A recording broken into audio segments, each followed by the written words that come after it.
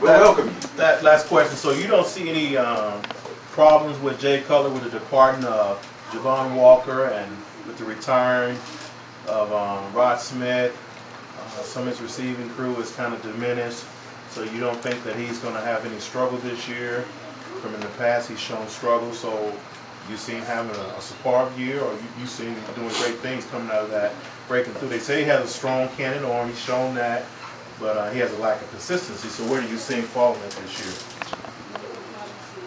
See, that's one of the problems that we have in the league is we have so many coaches that never played the sport.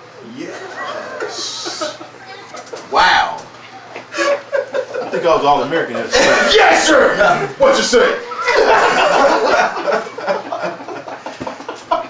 And so we come up with With these the full answers, Yes. questions, Uh-huh.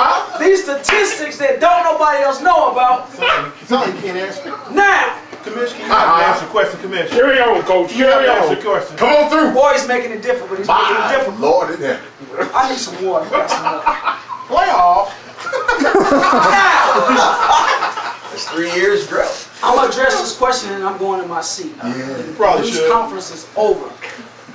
Now, when you don't play, everybody deserves a change. Yes.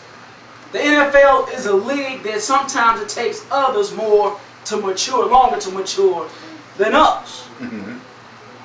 So even though his receiving corps may not be up to par, there's always room in the NFL for somebody to step up. What you say? I can't get no help in here. Can I get an amen? Amen. Yes, sir. Yeah, man.